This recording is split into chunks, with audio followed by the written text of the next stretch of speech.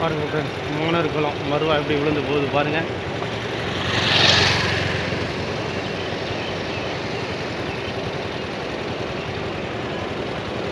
மோனர் குளத்தில் பார்த்தீங்களா மருவா எவ்வளோ அழகாக தண்ணி அதிகமாக விழுந்து போகுது பாருங்கள்